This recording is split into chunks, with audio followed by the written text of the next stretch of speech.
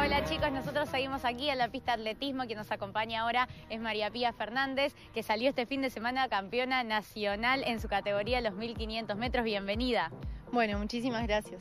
¿Ya estás acostumbrada a, correr 1500? Te, vemos entrenada? Sí, sí, sí, los 1500 es mi disciplina, la, prueba que, estamos preparando, bueno, que vengo preparando desde hace años y que estamos preparando para el Campeonato Sudamericano y los Juegos Panamericanos de este año.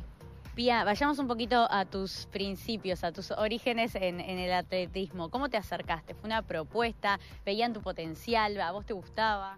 Yo de niña siempre fui muy competitiva, eh, entonces cuando estaba en la gimnasia del liceo, tenía 13 años, eh, era como que competía, nos mandaban a correr y competía contra mis compañeros varones, entonces llegaba con ellos, a veces le ganaba. Y fue ahí donde uno de mis profes en ese momento me, invita a participar de, una carrera que había de dos kilómetros. Eh, y nada, sin tener experiencia ni nada, la corrí, la gané y ahí estaba mi entrenador, Sebastián Allende, que es mi entrenador ahora, que bueno, que él estaba formando una escuelita de atletismo, hacía poco había llegado de Alemania de estudiar y, nada, quería formar la escuela de atletismo, me invitó a formar parte y hasta ahora, desde ese momento, no, no paré. ¿Cómo es un día en tu vida? Me, imagino que tiene mucho de, entrenamiento.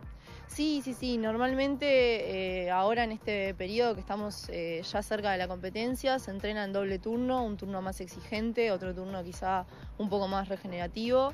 Eh, normalmente entreno acá en la pista de atletismo, a veces entreno en el Club Enfoque, que voy a hacer la, la parte de gimnasio y demás, pero normalmente mi día a día es acá en la pista. ¿Y la, ¿Y la parte de haber estudiado fisioterapia te ayuda en algo en tu carrera? Sí, la verdad que la carrera de fisioterapia es algo que, me gusta muchísimo, que en algún futuro eh, me veo haciendo eso cuando, cuando deje de, competir, ya que nuestra carrera es bastante corta, por así decirlo, en el deporte. Así que nada, me veo haciendo eso, me encanta y, me encantaría en algún futuro poder volcarme al, deporte, que es lo que tanto me llena. Me contabas que te estás preparando entonces para viajar este viernes a España, Perú. ¿Cómo, cómo va a ser este viaje? Sí, sí, sí, la verdad que estamos con, muchas expectativas. Eh, ahora, la semana que viene, viajamos a, Perú al Campeonato Sudamericano. Eh, es, es, el campeonato continental más importante que tenemos, que da el pase directo al Mundial de Doha en Qatar a fin de año. Así que nada, nos vamos a jugar esa clasificación.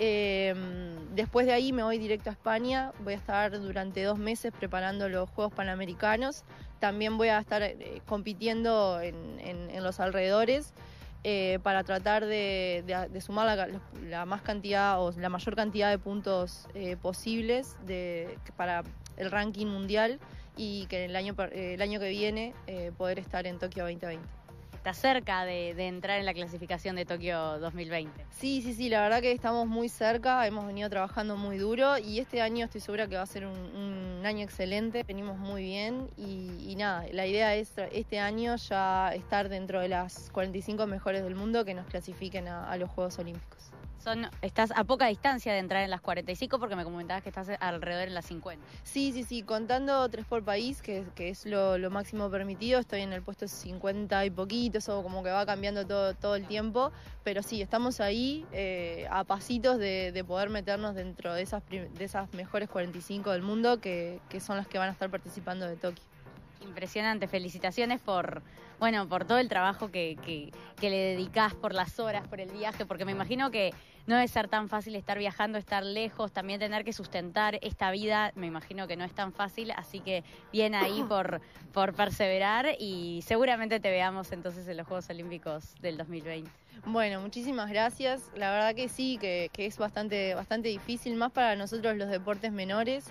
Por suerte tengo un gran equipo de trabajo, mi manager Andrés Agostini, mi entrenador Sebastián Allende y un equipo atrás multidisciplinario muy grande, además de, los sponsors que, son quienes me, ayudan a poder realizar todo este tipo de cosas, así que nada, un abrazo enorme para ellos y nada, si me dejas aprovecho a mandarle un saludo a la gente de Clínica Mets, que son los que día a día me cuidan para que llegue al 100% de todas las carreras, así que nada, un fuerte abrazo para ellos.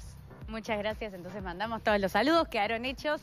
Gracias Pía y buen viaje este viernes. Bueno, muchísimas gracias. Gracias chicos, seguimos con ustedes. Muy Impecable. bien, gracias. Un beso grande, mucha fuerza para Pía. Sin Claro duda la vamos sí. a ver desfilando ahí Por en supuesto. Tokio 2020. Por supuesto.